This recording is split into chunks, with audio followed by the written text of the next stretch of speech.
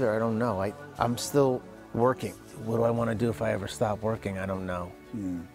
Florida. I think you're supposed to move to Florida where your joints don't hurt.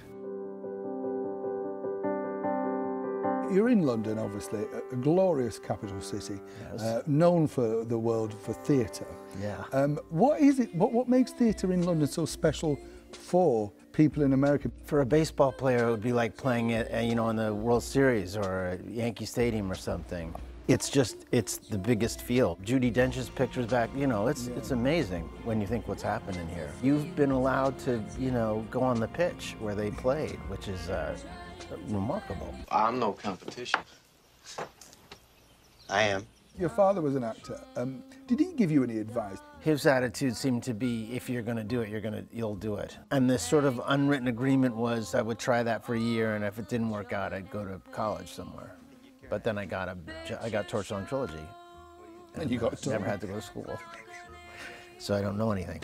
But I'm well known. Well, he's very popular, Ed. I recall Central Park in fall. Ferris Bueller, do you know him? Yeah, he's getting me out of summer school. They think he's a righteous dude.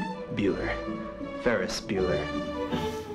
What a legend. Yeah, what a legend. What a cracker of a film Yeah. that was. For more information on Matthew's brand new stage show, you can head to londontheatre.co.uk.